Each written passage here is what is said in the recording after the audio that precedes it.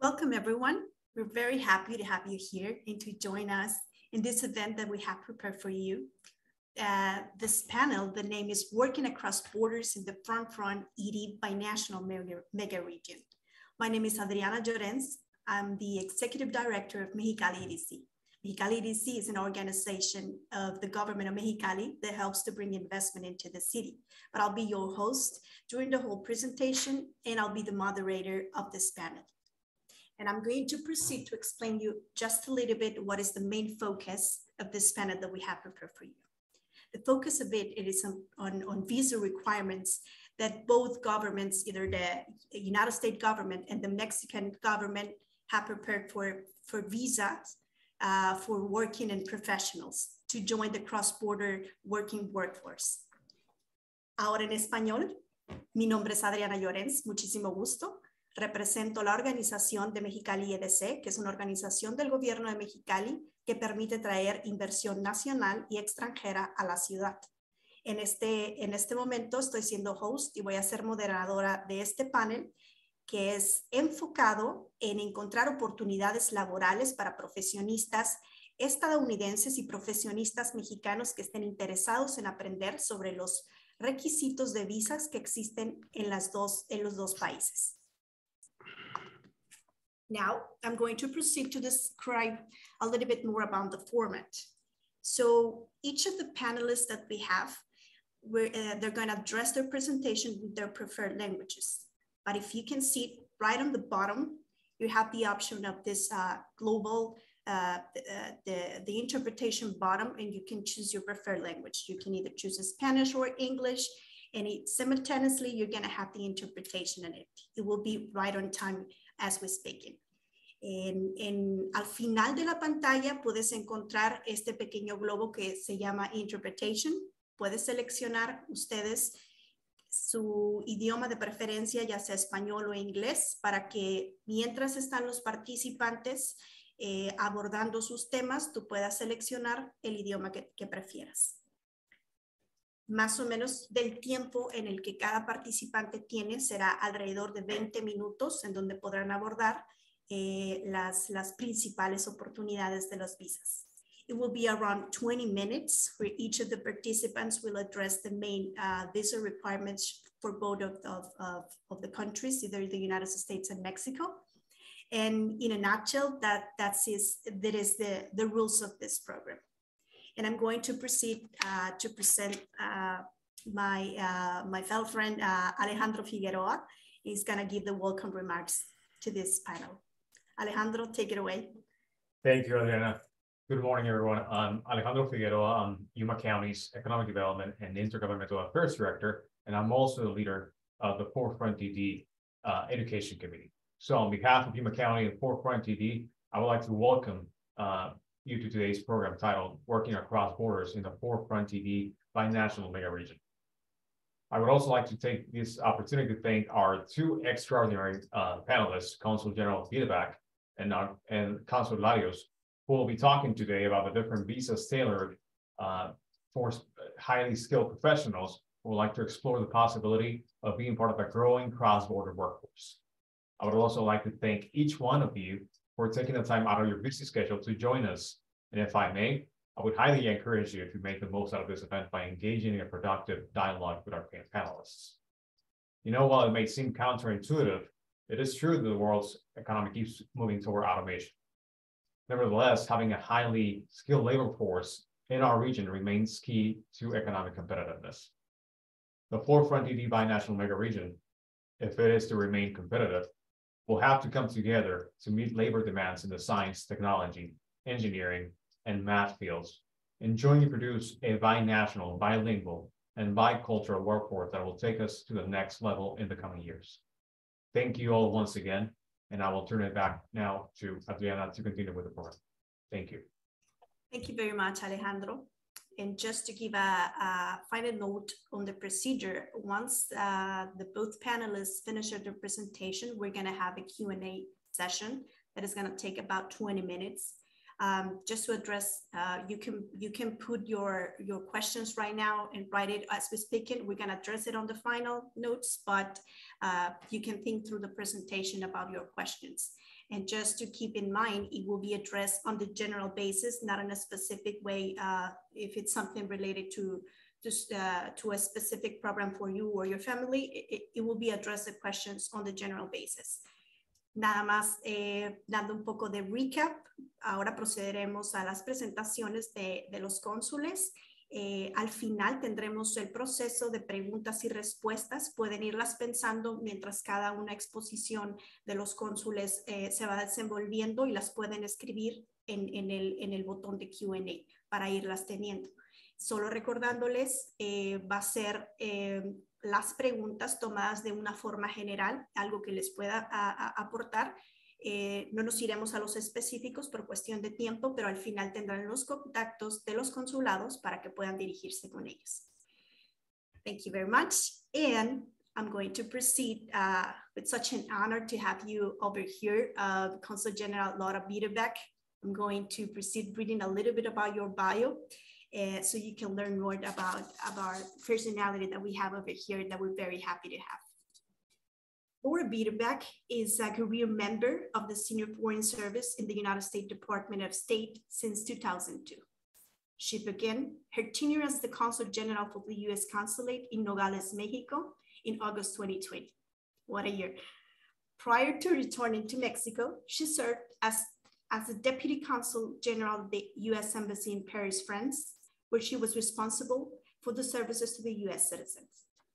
She directed emergency consular responses and crisis management, covering the 4 million annual US citizen visitors and residents in France. Previously, she was the chief of the visa section at the US Consulate General in Tijuana, Mexico. She has also served as a consular officer in Guatemala and Philippines. In Washington, Laura has worked in various policy and management issues. She has led the Iraqi and Afghan special immigrant visa programs and managed global consular staffing and foreign services assignment for consular officers. She earned a bachelor degree in political science from the University of California in Los Angeles. Laura speaks Spanish and French. General Counsel Biedebach, the floor is all yours. Muchas gracias, Ariana. Thank you so much for that um, introduction. Good morning to everybody. Uh, muy buenos días a todos y, y todas, y, uh, todas y gracias por su participación uh, esta mañana. Um, I'm going to speak in English since we have uh, interpretation and it's a little bit easier uh, for me. Um, but I really appreciate this opportunity to uh, join this um, uh, this great uh, event this morning. And of course, it is always my distinguished pleasure to join my uh, colleague and co-panelist, uh, Consul Larios. So buenos dias, uh, Consul. It's a pleasure to be here with you today. Um, thank you uh, to, the, to Alejandro Figueroa, the Director of Economic Development and Intergovernmental Affairs for Yuma County, um, and also to um, the uh, 4FrontED Executive Director, Nazar Mendes, for this invitation to participate. As, um, as Ariana mentioned, um, I do have, uh, this is my second uh, time to serve the US government here on the US-Mexico border. Um, I was previously, uh, from 2010 to 2013, I was the Chief of Visa Services in the US Consulate General in, in Tijuana. Um, so I am very familiar with this region and I am um, familiar with the um, subject, subject matter that we will talk about today. Um, but I do have a colleague who has joined me today from our visa section to assist with any um, questions that I might not be able to answer in the question and answer. If we could go to the next slide. I want to first start by mentioning to everyone that on December 12th, 2020, and just 22, excuse me, in just a couple of months, the United States and Mexico will commemorate the 200th anniversary, the bicentennial of diplomatic relations between our two countries. And this is a very important year coming up for us to celebrate not only our history and the important history in our border region, but also the future and the future of economic development between our two countries, and particularly in our region here in the western portion of the border. So it's important for us to reflect on the past, but also to look forward. And I think that that is what uh, today is all about, looking at how we can work together on economic development in our region and specifically for working professionals. If we could go to the next slide. Um, the objectives for today, um, I want to um, share with you information about the classes of non-immigrant visas um, that are available for professionals and to provide you with an understanding of the basic requirements for each visa classification. Um, we're gonna cover four main visa classifications as we go through that are specific to, um, specific to professionals. There are other um, worker visas that are available, um, but those are for other categories. So we're going to focus on, um, on our two, uh, excuse me, on our four main uh, classifications. If we could go to the next slide. So if there's only one thing you remember, if there's only one thing that you write down um, from the presentation today, it is our, um, it is our website, travel.state.gov. And that is where we have all of the information on all of our visa classifications. Um, we have dozens of visa classifications for um, various categories. If you go into the search engine and you put in employment travel state, you will come up to our, um, our website. When you get to our travel.state.gov website, you will see the tab for US visas. And this is the um, main place to get information. There's a lot of uh, websites out there. There are a lot of people who want to provide you with visa information um, about working in the United States. I would ask that you just trust the information that comes from our official government website at travel.state.gov. There is actually on this website a tool that allows you to put in information and the system will tell you what classifications are possible based on the criteria that you uh, that you um, that you put into the system. Mm-hmm. So um, I would highly recommend that um, after we have this presentation today, you take the opportunity to look at our website and look for a little bit more information about um, what it is, um, the, the classifications I'm going to talk about today. Um, if we can go uh, to the next slide. This is a summary of the four classifications that are most commonly sought by the community, Arizona and Sonora business communities in our region. Same for uh, California and, and Baja California. And I'm gonna go in um, a little bit more detail on each of these classifications. I should explain that the US consulate in Nogales uh, processes visas just as the US consulate does in Tijuana um, and the other seven consulates that we have. We have our embassy in Mexico City and then nine consuls general, consulates general throughout the country that process visas. The way we organize our visa workload is to make it as efficient as possible. That means that we are able to work or to change workloads or move workloads around between the embassy and the consulates to maximize our resources, to maximize our efficiency, and to process visas as quickly as we can. Which means that um, although I'm presenting to you here from the US consulate in Nogales, if you apply for a TN visa, for example, your interview may occur at a different consulate. We work as a whole mission to meet the uh, visa demand between the United uh, for our applicants in, in Mexico. If we can go to the next um, to the next slide, I'll start talking about the first classification. The TN visa, TN visa, is unique to Mexico and Canada. Um, it is uh, not offered to citizens of any other country other than Mexico and Canada. And that is based on our trade agreement between the three countries. This is a visa that um, is for uh, professionals specifically. As part of the trade agreement, there is a specific list of professions that are included. And you can see um, we have a link there at the bottom of the slide. Um, again, you can search TN NAFTA professionals to get a link to that or to, to that list to see if you would potentially qualify.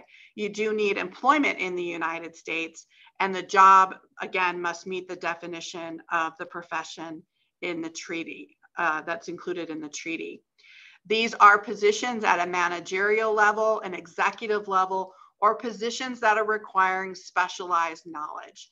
And the purpose of this visa classification is to ensure exactly what we're talking about today in this presentation, to ensure that workers from um, all three countries are able to um, move as needed to support the economy of, of North America. Um, the making sure I have everything on here.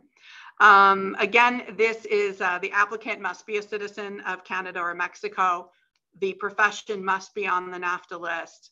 Um, it does require to be at a professional level. It does require that there is a prearranged full, uh, full-time or part-time job from an employer. So there has to be a job. You cannot use a TN visa to go look for a job. You have to have the um, proof of the employment is part of the required documentation. And it's important to note that with this classification under the treaty, self-employment is not permitted. So you do have to have an employer in the United States. So I would encourage everyone to, um, to look at the list of professionals or again, additional details on our website um, for more information on this classification. If we can go to the next, we'll talk about our uh, L visas.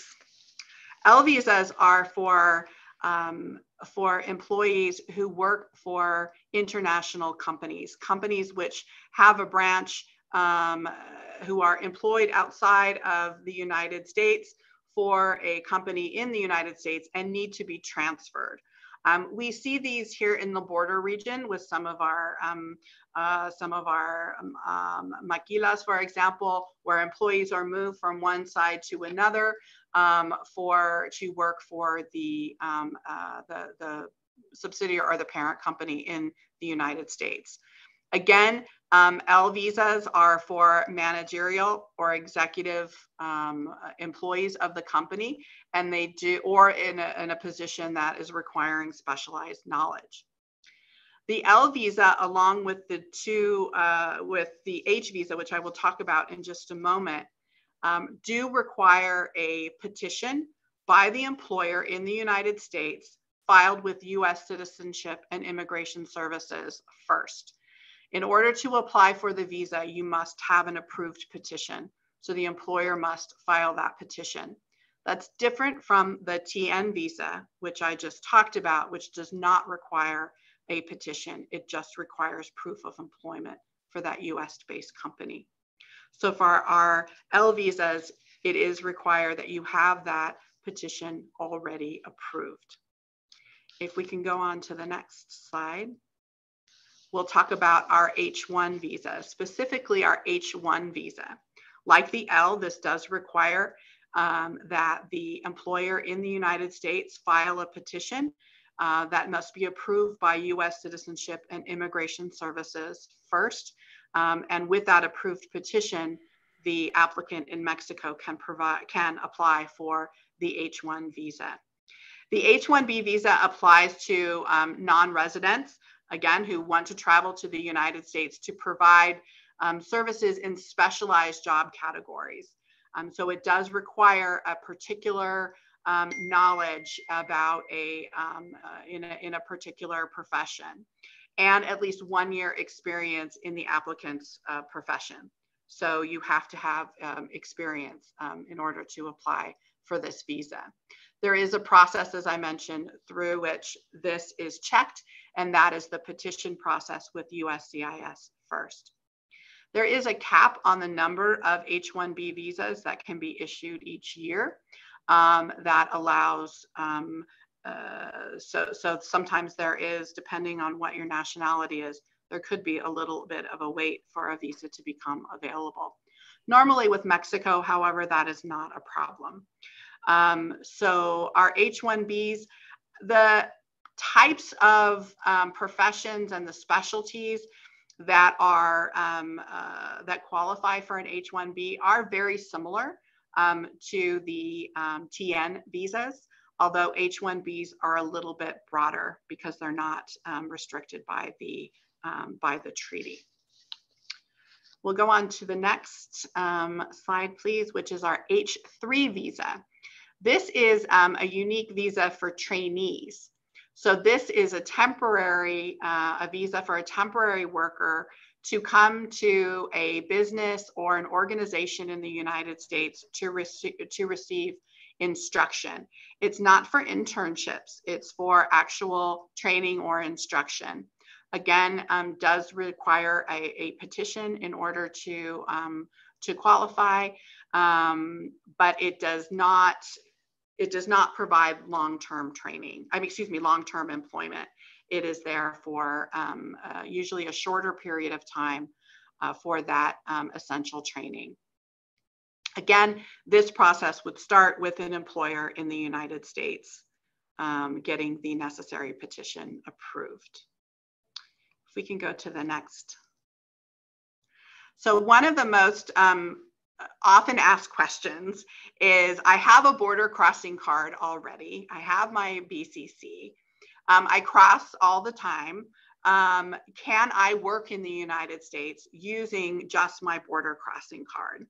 And in most cases, you, uh, whether or not your business um, qualifies to you, whether or not the border crossing card qualifies for business, um, depends on the type of um, engagement that you have in the United States. So I'll give you an example. If you are um, employed by a company in Mexico and your uh, salary is paid by a company in Mexico, and you are required to cross the border to go to meetings, to meet with um, to meet with business contacts, to negotiate contracts, to attend meetings, um, to go for a couple of days to meet with um, senior managers, etc. You can do that on your border crossing card. However, if you're going to be employed in the United States, meaning your employer and your your pay is coming from the United States, you may not do that on a border crossing card. You're required to have one of the visas that I've already explained. So if you are self-employed, for example, and you want to grow your business and you're exporting something to the United States and you want to go meet with um, potential contacts up in the United States, you can do that on your border crossing card. Um, you can go to negotiate that contract. You can go to um, meet with um, potential, but potentially your um, your company has an affiliate in the United States and you need to go there for a few days of meetings, you can do that on a border with your border crossing card or your B1, B2 visa. Um, but you may not work in the United States using that visa. And it's important that travelers not try to get around this rule. Um, we do have a lot of commuters that go back and forth. And I can tell you that CBP um, US Customs and Border Protection, who are checking your visas upon entry into the United States, are looking very closely for people who are working in the United States who don't have the correct visa classification. So it's important for a long-term ability to travel that you travel on the correct visa classification. Of course, the B2 visa, which is also included in your border crossing card, that's for your recreational, tourists, family, friends, um, going to visit um, and do all of the cross-border travel that we do here in the border region.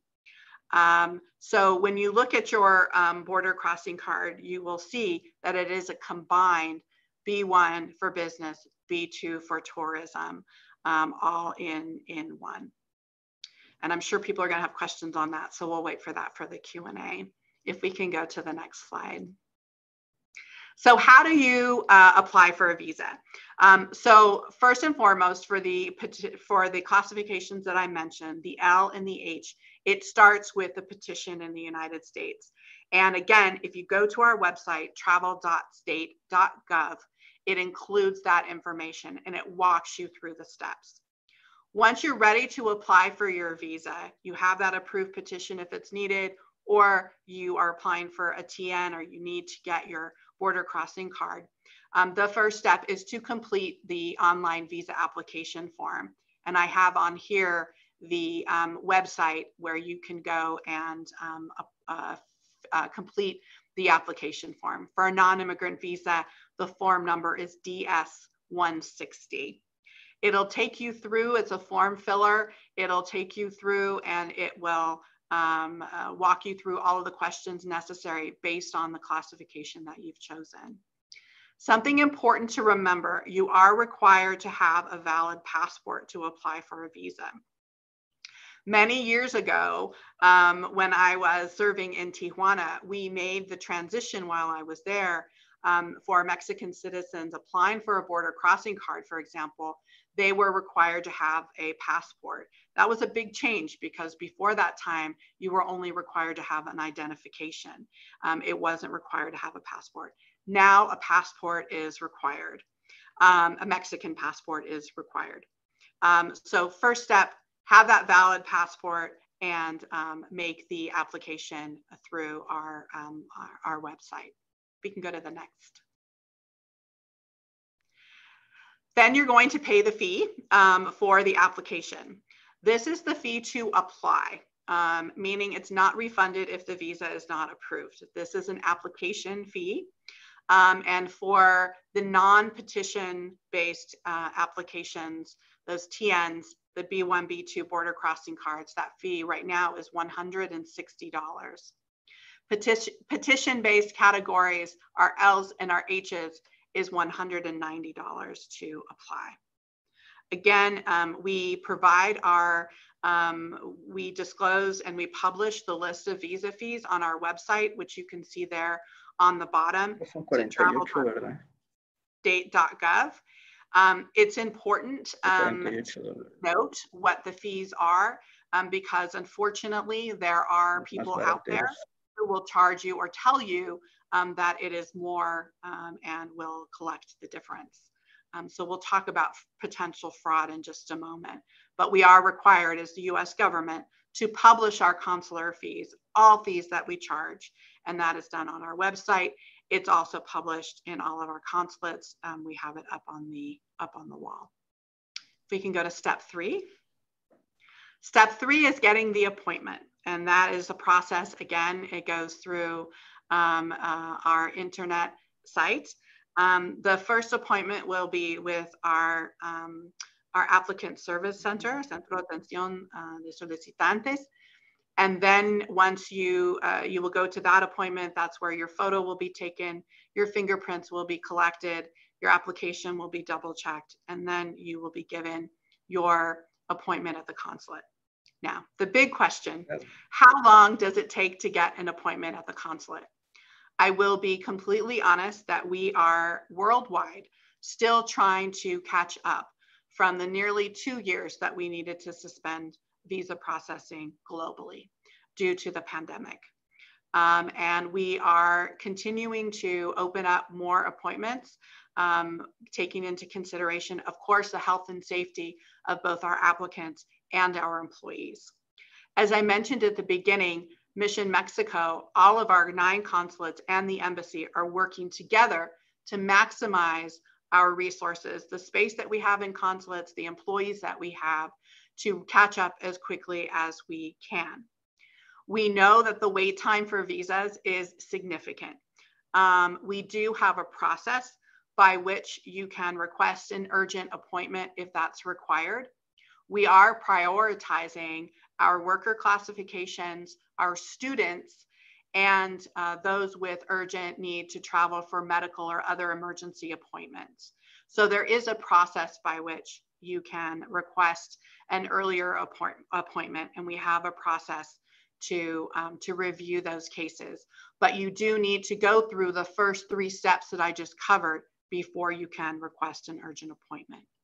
If we can go to step four. Step four is the interview, and that's where you will come um, in to meet a consular officer. A consular officer will review um, your application and ensure that you meet the qualifications for the visa classification and that you do not have any ineligibilities um, to travel to the United States. As I've mentioned a couple of times, this is a this, this shows you where we are located. Um, we have our embassy, of course, in Mexico City, and our consulates general in Nogales, in Tijuana, Ciudad Juarez, Hermosillo, Guadalajara, Nuevo Laredo, Monterrey, Matamoros, and Merida.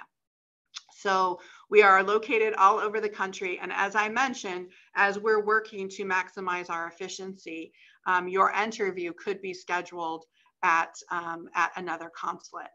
What we have tried to do, for example, is to ensure that in each region, we can process all classifications. So if you're in Mexicali or if you're in Nogales, um, your appointment is not going to be in Matamoros, right? It'll probably be between Tijuana, Nogales, Hermosillo, maybe Ciudad Juarez. Ciudad Juarez is the post that processes all of our immigrant cases, all of our immigrant visa applications. So again, we're trying to maximize our resources so that we can get everyone, um, everyone through um, and continue to ensure that the uh, workers and the, um, the, the, the, the, the, business can continue um, in spite of the challenges that we have as a result of the, of the pandemic. If we can go to the next slide. Always my recommendations. Um, there are worldwide, um, this is not unique to Mexico at all, um, as Adriana pointed out, I've served in Guatemala, I've served in the Philippines, I've served in Mexico, I've served in Europe, um, and there are always people there waiting to take advantage. Um, smugglers who will promise the world, um, people who will tell you you must have certain documents um, and will charge you uh, for those documents. Um, and I can tell you that if you present false documents to a consular officer, um, and you are found to have uh, committed fraud, that is a permanent ineligibility from returning to the United States, from traveling to the United States. The it is very, very, very serious. Don't do it. Um, our consular officers are well trained um, and they know what to look for. Um, so present your case and present the documents that we note in the application that are required. And please don't give your personal documents to other people. Um, again, those documents may be used for purposes that you did not intend them to be used. And suddenly you're involved in a fraud case that you had nothing to do with. So protect your personal documents. Don't use or pay uh, for any false documentation. And above all, don't go to um, smugglers. There are legitimate organizations, there are legitimate companies that may assist you. There are attorneys, immigration attorneys in the United States, which many companies use um, to complete the application and to um, process the application correctly, legitimately, without any trouble. Um, and so uh, particularly if you're working with an employer in the United States, you know, ensure that you're communicating with those, with the employer. One note about, um, before I close, one note about our consular officers and who they are. Who are these people um, who are at the window who will eventually review your application and who will talk to you? Um, they are officers just like me. I'm a consular officer um, by, um, by trade. That's what I've been spending most of my career either doing or managing. Our officers are very well trained. They are trained to know what questions to ask. They're, they are trained in the visa classifications um, that they are adjudicating. As Adriana mentioned um, in my introduction, one of my great privileges was actually to teach our consular officers at our Foreign Service Institute in Washington, D.C., to receive their commission all of our consular officers, those that are making visa decisions, uh, receive a commission signed by the Secretary of State and the President of the United States. This is a very serious responsibility that they have, and I can tell you that our officers take it very seriously. Our officers, our foreign service officers who adjudicate visas and work in our embassies and consulates, reflect the diversity of the United States of America. So if you have a vision in your head of who or what a uh, who a, uh, a consular officer, what that person should look like, um, I can tell you that our consular, our, our foreign service officers are as diverse as the United States of America. Um, many, including um, several who have worked um, at our mission here in Mexico, are originally from Mexico, for example, and are now United States citizens and proudly serving as Foreign Service officers. So know that when you come in and your application is reviewed, it's being reviewed by a consular officer who has been trained, who knows what they're looking for, who will ensure that the law is applied fairly and we'll take um, uh, every consideration to your application. Thank you so much for this opportunity and um, I look forward to answering any questions you have. Thank you very much, Consul General Biedebach. And I'm going to move forward with the presentation, presentation of our Consul General, eh, Mr. Larios. Eh, estamos muy contentos de tenerlo aquí, de escuchar las oportunidades que nos va a dar para, para las personas de Estados Unidos que quieren trabajar aquí en, en México. Les cedo la palabra y bienvenido. De, eh, voy a, nada más, si me dan una oportunidad, quiero también leer este, la magnífica participación que ha tenido usted en el gobierno federal en el Servicio Exterior Mexicano. And I'm going to do this presentation of a consularios in, in English. Um, since April the 30 in 2018, uh, Consul Larios took office in Consul of Mexico in Yuma, Arizona. He had been working as a career dip diplomat for the Mexican Foreign Services since 1985, reaching the rank of minister in 2017. During his career, he has served as head of political affairs at the Embassy of Mexico in Portugal, head of political of commercial affairs at the Embassy in Mexico in Morocco, consul of community affairs at the Consulate General of Mexico in Los Angeles, California, consul of the protection department of the Consul General of Me Mexico in New York, Deputy Consul at the Consul General of Mexico in San Antonio, Texas. Consul Larios Ponce was born in Puebla, Puebla, and he earned a bachelor degree at law at the Benemérita Universidad Autónoma de Puebla and his postgraduate studies in law at the University of Mexico. Consul Larios, le cedo, le cedo la palabra. Muy amable, Adriana. Agradezco mucho su presentación. Eh, es un honor compartir este panel en realidad con, con la cónsul general Biedevac. Muchísimas gracias por organizar este, este panel eh, tan completo y desde luego pues agradecerle a los organizadores, Alejandro Figueroa, a Nacer Méndez, por toda esta iniciativa que se han tomado para darnos una perspectiva de las eh, formas en que los, diferentes, los dos países eh, manejamos la parte de visas. Eh, como bien dijo la cónsul Biedebach, pues estamos celebrando los 200 años de las relaciones entre México y los Estados Unidos y todos los días, todos los días estamos en esta interacción tan intensa, sobre todo aquí en esta frontera.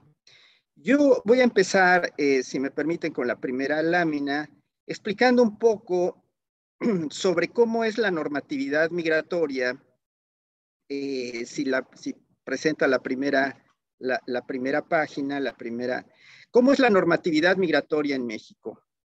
la normatividad de, de, mexicana es a partir de la ley de migración que está vigente desde el año 2011 y que ha tenido diferentes reformas, las últimas en este año 2022. Lo que busca esta, esta normatividad, esta ley de migración es sobre todo la preservación de la soberanía y la seguridad nacional de nuestro país. Complementada con eso, si, pasa a la siguiente diapositiva, está el reglamento de la ley de migración, vigente también desde el año 2012 y con diferentes reformas que ha tenido a lo largo del tiempo para irla adaptando, sobre todo en todo lo relativo a la formulación y dirección de la política migratoria del Estado mexicano. Toda esta normatividad, si pasa a la siguiente lámina, este, está reflejada en los lineamientos generales para la expedición de visas que emite la Secretaría de Gobernación y la Secretaría de Relaciones Exteriores. En México, la política migratoria descansa en la Secretaría de Gobernación y la aplica la Secretaría de Relaciones Exteriores a través de su extensa red consular, sobre todo de México aquí en los Estados Unidos. Eh, si pasa en la siguiente, la siguiente diapositiva, para los efectos, digamos, que interesan a este panel, esto es la obtención de visas de trabajo para ser parte de una fuerza laboral transfronteriza, digamos que deben, eh, eh, eh, se, clasifican, digamos, en estas categorías, pero son fundamentalmente las visas de visitantes con permiso para realizar actividades remuneradas, cuando es solicitada por oferta de empleo, no mayor a, ciento, a 180 días, este, no mayor a cuatro años, más bien dicho, y, este, sí, no mayor a, a, 180 días. Y la visa de residencia temporal mayor a 180 días y menor a cuatro años. En estas categorías, eh, repito, la obtención del permiso de trabajo se descansa en el Instituto Nacional de Migración, la Secretaría de Nación. Eh, para este tipo de, obtención de visa, este, si pasa la siguiente lámina, la visa de visitante con permisos para realizar actividades remuneradas eh, solicitada por oferta de empleo o la visa de residencia temporal también con, con oferta de empleo no mayor de cuatro días, mayor a, no, mayor a 180 días y no mayor a cuatro años, los requisitos básicos son presentar el pasaporte en original y copia, con una vigencia eh, mínima de seis meses, una fotografía, así como el original y copia de los documentos que demuestren que cuenta con una oferta de empleo. Eh, si pasa la siguiente lámina, por favor. Lo mismo sucede con la visa de residencia permanente aplicable a personas extranjeras que pretenden internarse a México en la condición de estancia de residente permanente con oferta de empleo. Y es lo mismo, los requisitos básicos son presentar un pasaporte, fotografía, original y copia del documento que acredite su legal estancia si la persona no es nacional del país donde solicita la visa, y el original y copia de los documentos que demuestren que cuenta con oferta, con oferta de empleo. Ahora bien, eh, la siguiente lámina, para obtener esta, digamos, eh, eh, esta oferta de empleo para que esté autorizada y nosotros como Red Consular de México en los Estados Unidos podamos proceder a la autorización de las visas, el empleador tendrá que recurrir a un micrositio del Instituto Nacional de Migración de trámites migratorios. Ahí viene reflejada toda la información necesaria para conocer el procedimiento y los requisitos que deben, que deben ingresar a la página del Instituto Nacional de Migración y puedan obtener los empleadores el permiso de trabajo. Ahora bien, para el, si, pasa la siguiente lámina, eh, para, para ello el empleador necesita obtener previamente una constancia de inscripción de empleador.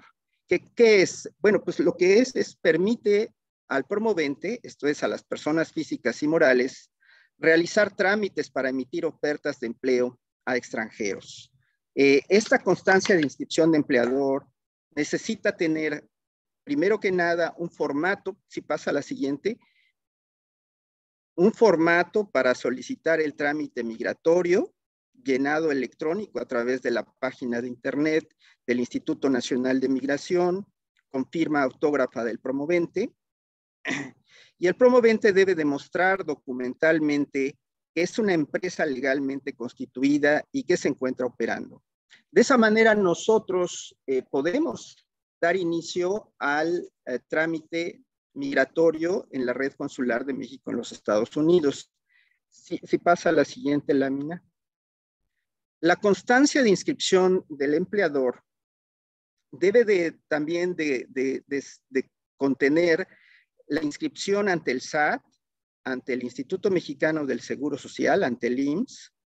Debe también eh, ser completada por una declaración de impuestos, comprobante de domicilio e, e identificación del representante legal o persona física con la lista de empleos y la nacionalidad. Eh, eh, además, con esta constancia de inscripción del empleador, eh, el promovente, ya sea la empresa física o la persona moral, si pasa a la siguiente página, por favor, presentará un formato de solicitud de visa y los requisitos ante el Instituto Nacional de Migración. La autoridad migratoria verifica el cumplimiento de los requisitos, así como los antecedentes de la persona extranjera del promovente. Eh, el, el, INAMI puede solicitar incluso la opinión de autoridades competentes o bien realizar una visita de verificación migratoria para saber si realmente estamos eh, hablando del empleador real y verídico que quiere utilizar los servicios de algún empleado. En esta etapa, el INAMI puede o conceder o negar el trámite. Si se detectan inconsistencias o incumplimiento de los supuestos previstos en el artículo 43 de la Ley de Migración, el INAMI puede, eh, puede negar este, el trámite. Pero en caso de que tenga aprobación, es decir, si se acepta el trámite, la siguiente lámina, por favor. El INAMI notificará al promovente que la persona extranjera interesada puede gestionar entonces una cita para la entrevista consular. Depende del domicilio este, eh, de, la persona donde se encuentre, podrá hacer la cita en alguno de los 50 consulados que México, si pasa la siguiente, en alguno de los 50 consulados que México tiene en los Estados Unidos, contacta al consulado de México más cercano a su lugar de residencia actual eh, y, nosotros eh, eh, procedemos a la, emisión de la, visa previa, previa a una entrevista consular que realizamos para determinar si la visa puede ser aprobada o negada y de resultados se informa al Instituto Nacional de Migración. Si pasa la siguiente, por favor. Eh, eh, este es un ejemplo del, eh, del permiso que, este, que emite la Secretaría de Gobernación eh, con la información necesaria para eh, determinar eh, si procede la entrevista consular y, y, de esa manera cerrar, digamos, el, el trámite entre el Instituto Nacional de Migración este, en México y la red consular en los Estados Unidos. Debe de considerarse que la presentación del visado no garantiza al final del día la internación a territorio nacional. Siempre está eh, condicionada a la aprobación de las autoridades sanitarias y migratorias eh, en el punto de entrada. Este, el día de la cita, la persona extranjera, por supuesto, debe presentar el NUT y cuesta 48 dólares eh, por el examen y la emisión de la visa. Si pasa la siguiente, por favor. Bueno, esto es lo que acabamos de, señalar. Este, la información adicional que puede solicitar el, consulado en caso de tener alguna duda. Se cuenta con 10 días hábiles para autorizar o no la expedición de la visa y con base en la entrevista consular se puede aprobar o negar de acuerdo a las condiciones de cada solicitante y el resultado es eh, informado al INAMI. Siguiente, por favor. Eh, bueno, es, lo mismo que acabamos de, explicar. La siguiente.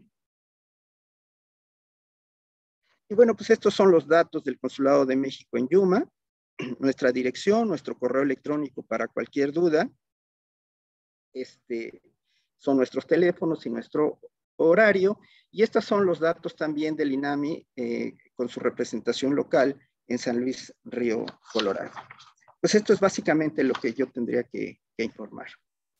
Muchísimas gracias, Cónsul, por su valiosa información presentada. Ahora vamos a pasar al tiempo de preguntas y respuestas. Ya tenemos eh, algunas preguntas aquí que han hecho por los asistentes y creo que con la que empezaremos será directamente para la consul Dieterbeck. One of the questions that is over here, uh, they're asking for the visa TN. Is it a requirement to validate if the foreign degree, either Mexican or Canadian degree in the US prior to apply for the TN visa? It's not required to validate the degree. You will bring proof of your degree, um, which we have the ability to verify. Um, so you should bring um, proof of the um, degree along with your transcripts. That'll be one of the required um, documents. And that will be a document that we will verify. But there's no process in the United States to have that verified by a US based university, for example. That's part of the process with the application. And I will invite my, um, my colleague, um, Hector, who's on the line from the visa section. Hector, if I say anything that's incorrect, please correct me as I'm answering the questions. I want to ensure that our audience has the, um, the, the correct information. Thank you, Consul. Uh, we hear you, Hector. Uh, thank you, Consul. Yes, I will. I will be here. Perfect. Thank you. So we have another question for Consul Larios. Consularios, eh, ¿qué otros servicios provee el Consulado de México para profesionistas mexicanos que se encuentran en territorio estadounidense con una visa de trabajo?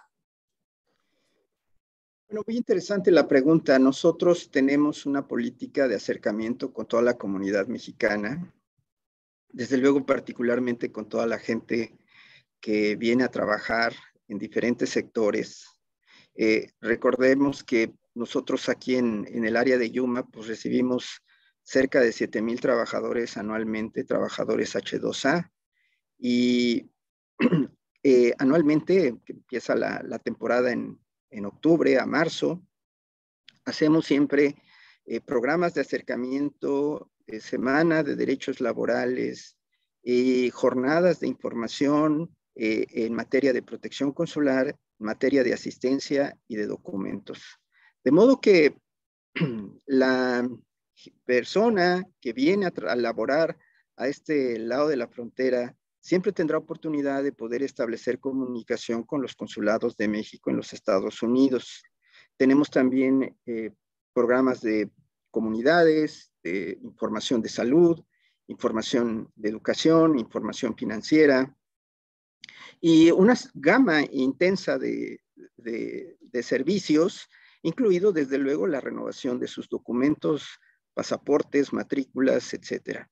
Así que siempre estamos eh, abiertos a poder establecer comunicación con los trabajadores que vienen a este lado de la frontera. Gracias, Consul. Uh, we have over here a question that apparently is addressed for either both of the of the consuls. I'm going to read it in English. Uh, do all interviews require in-person attendance, or is there any consideration for virtual meetings for requirement of these types of visa? Uh, whoever wants to address the question, the, the answer, be our guest. For us, most of uh, well, all first time applicants are required to have an in person interview. If you're renewing a visa, um, there may uh, that interview may be um, may be waived, um, but it depends on the classification. At this point, we have not moved um, to virtual interviews. Um, I can tell you, I've been we've been talking about this in the Department of State um, for a long time. And we'll have to see what happens um, as we're again trying to find um, mechanisms to, um, uh, to, to be able to manage larger number of, of cases that require application. So stay tuned on that. But for now, um, most, uh, well, all first time applicants do require an interview um, there is a mechanism to waive interviews for renewals of um, those who already have um, employment-based visas. Thank you, Laura. Thank you, Consul Biedebach. We have another question over here that says, does a Mexican can offer services in the United States but being paid in Mexico? I'm assuming it's, uh, professional services, but since we don't have more information, um, uh, this is a question. So this is an area where we need to be very we, we where we need to be very careful. And um, so uh, it's there's a lot of hypothetical scenarios with this question. So I can't give a definitive yes or no answer. If you are employed um, by a Mexican company and you need to cross occasionally for again meetings to work on contracts um, to provide a day of training things like that can be done with a B1, B2, or border crossing card. Um, you'll want to check the, the scenarios that we provide, and we do provide a, a large number of scenarios on the travel.state.gov website under visas about what you can do in the United States on a um, on a border crossing card. You can also contact the consulate um, through our public information um, information that we provided if you have specific questions. Um, but it's hard for me to give a definitive answer, but I can tell you on the website, we have a lot of examples. Thank you, Consul. Por Consul Larios, eh, Consul, en términos generales, ¿cuál es el perfil de los profesionistas estadounidenses que solicitan una visa de trabajo al gobierno de México? Bueno, es uh, variado, pero fundamentalmente digamos que se concentra en personal técnico, ingenieros, eh, en personal como informáticos o expertos en software, que sobre todo en esta zona de Mexicali, este, de Baja California, eh, eh, absorben, absorben mucha mano de obra o conocimiento en esos campos.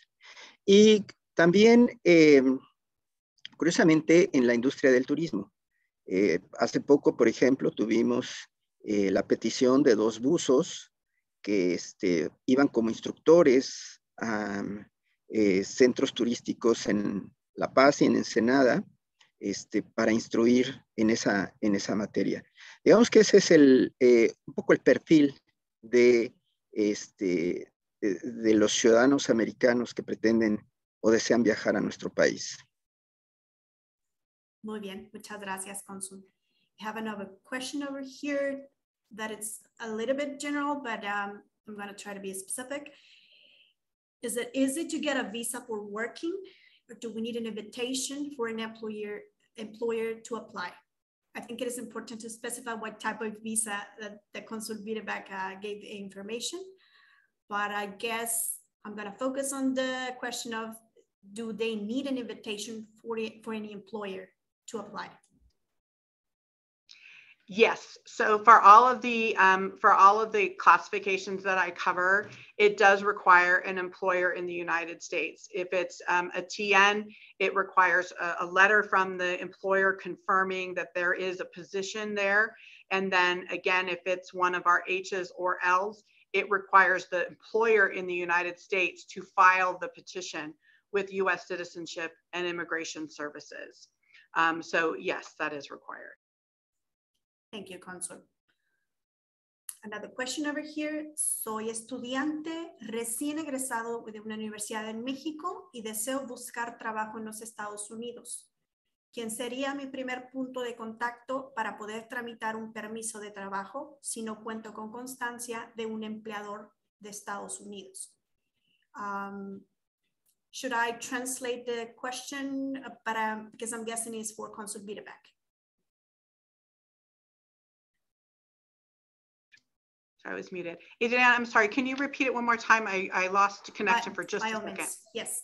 Um, uh, and a recently a graduated student from University of Mexico wishes to apply for a visa in the United States, what will be the first point of contact to tramit the permit of work if it doesn't have a, a, a letter from an employer in the United States. So if, if you are a graduate in Mexico and you're looking for employment um, in the United States, um, my understanding, and, and I will freely admit that I am not on LinkedIn. I'm sorry, I'm one of the few people probably who is not on LinkedIn and I should be. Um, but my understanding that um, there is actually a search mechanism in LinkedIn, for example, that can help you find potential employers in the United States.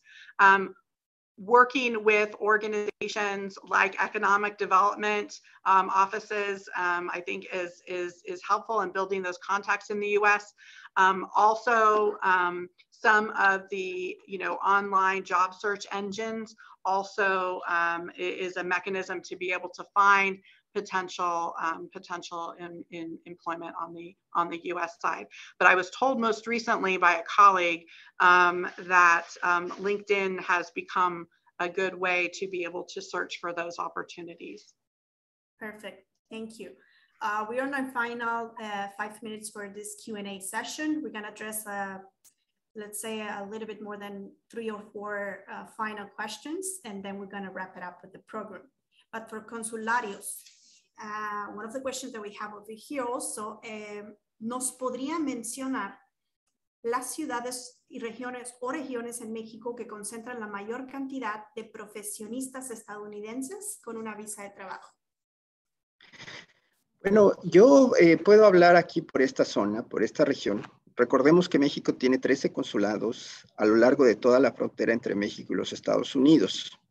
Y cada peticionario eh, pues, tiene que eh, acudir al consulado que le quede más cercano conforme a, su domicilio este, en, todo, en todos los Estados Unidos, en los 50 consulados. Pero en cuanto hace a, nosotros aquí en Yuma, los profesionistas que hemos detectado, eh, eh, ciudadanos americanos que pretenden viajar a, a México, se, concentran, como decía yo hace un momento, en la zona de Mexicali, cuestiones de carácter técnico, este, en la zona del norte de, Baja California y en la parte turística hacia el sur, en La Paz y en Ensenada. Es donde hemos nosotros este, detectado que vienen profesionistas solicitando sus visas de trabajo para ir a esos lugares. Muchas gracias, Consul. And the, the last questions, I guess it will be for Consul Biedebach. I'm gonna try to translate over here the questions. Um, one person said, uh, if I want to uh, tramit a, a, visa permit as a student and I'm an active uh, student in a faculty in the United States, will I be able to use this document to apply for a job? So if I understand the question correctly, the the the um, the person is already in the United States as a student and is looking for um, to be able to stay in the U.S. to work. That's right. Um, okay. Um, in that case, there are a couple of different options for students. Um, there is an opportunity to um, um, to stay for practical training, for example, as part of a student visa. And then you're you're you're in the United States. Obviously, you have your university and your network of your university. You're in a good position to be able to search for um, an employment opportunity and then move on to an employment-based non-immigrant visa. That is possible and that does happen. Um, what I would encourage you to do is to speak to your international student um, coordinator at your university um, so that you can understand the process for the um, the, uh, the extra year of practical training if that applies to you and also about um, potential um, potential transition to employment. That does happen quite frequently all over the world. Um, yeah. And um, there are, there is one classification that I will, just for this particular question, person who asked the question, if you're in the United States studying and you are on a J visa, you may have a requirement to come back to your home country. So I think it's important for that particular person to speak to the um, international student advisor there at the university, which will who will have the um, technical expertise to answer the question based on the classification that they're using right now. Thank you. Another of the questions over here, it says, I work at a maquiladora company, which is a company that is located in Mexico and uh, under the, the IMMEX program. They require to hire a group of the niche technicians. It probably will be temporary, but we not we don't know uh, for how many time long, and it's going to be for New Jersey. Is there any program for a group of technicians as a group? Some of the classifications can um, can apply to to groups. The one I the one the ones I covered um, are for individuals. Um, the um, it depends on the level of the technicians that you're talking about. This could be something that comes under an H2 category. Again, I would I would refer you to um, the, um, the information that we have on our website that breaks down um, the differences between um, the H1 and the H2. Um, it's not impossible to come as a group. It just depends on the visa classification. Thank you. And I'm going to address the last questions, but not less important. It is also for Consul Biedebach if I have a tourist visa and I want to ask for a working visa, does the tourist visa get canceled and I'm no longer be able to use it? Nope. Um, so you can have more than one um, type of visa. Um, and usually the tourist visas, for example, those are valid for 10 years. And so your worker visa may only be for a couple of years. Um, and so it just depends, you know, when you enter the United States, you'll present the visa um, for the purpose of that, of that travel. So no, you can keep a, um, you can keep a valid tourist visa while you have a, uh, a worker visa um, as, as well. Perfect. Thank you very much for both consuls for, for being very punctual in their answers. I'm gonna proceed to give the mic to Nasser. Nasser, give us the, the final remarks for this, this panel. Thank you. Thank you, Adriana. On behalf of the 4FrontED governing group, I would like to thank Consul General Biedebach and Consul Larios for sharing this important information about visa requirements for professionals who live and work in the US-Mexico region.